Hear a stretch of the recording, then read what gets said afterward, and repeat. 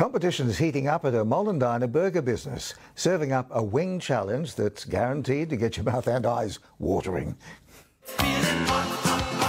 Six wings served with three sauces. One of them 700 times hotter than a jalapeno. Everyone loves a bit of a hot wing challenge. Yeah, people come in with their friends or their partners. Staff at Burger Urge on Olsen Avenue have been getting quite a kick watching customers sweat through the challenge, but we've come along to see if they can handle the heat. Uh, yeah, it's probably fair.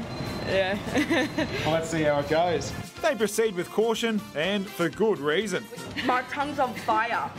Can I go get some water? I can't have any more. It's best to keep some cold milk on hand. The bite can creep up. You're putting on a very brave face over here. It's not that bad, I don't think. Now it's burning my teeth a little. But really, how hot could it be? Nick Kelly, 9 Gold Coast News. Spicy.